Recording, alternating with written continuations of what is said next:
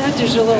Мне на заводе упорные взгляды лысых мужчин Я на них не похож, и вроде такой же Шесть утра на автобусе без десяти Песня про завод, которую исполняют на местном котельном заводе прямо во время одной смен. Синтепанк группа «Ваниль» тоже сначала посчитала эту идею шуткой, поскольку не слишком популярна для таких предложений. Разве что в Алтайском крае наслышаны про ее музыку о провинциальном быте и чувствах. Однако теперь число слушателей может вырасти.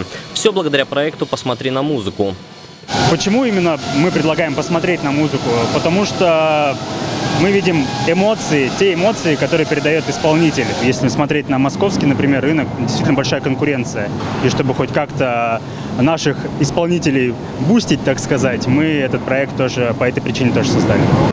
Благодаря проекту можно не только посмотреть на музыку, но и узнать парочку интересных фактов об исполнителях. Так, к примеру, у комнаты культуры, которую знают по всей России, есть свои обряды за пять минут до выхода обнимаемся, стоим, обмениваемся энергетикой, энергией и э, говорим там некие слова друг другу, поддерживаем.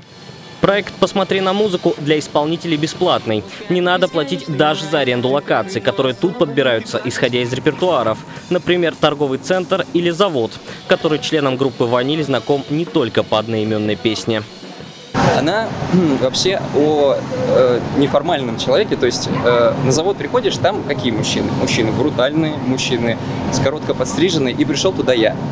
Я пишу песни, в общем, пришел э, такой неформал, у которого на голове больше волоса, чем 3 миллиметра, и столкнулся с такими упорными взглядами.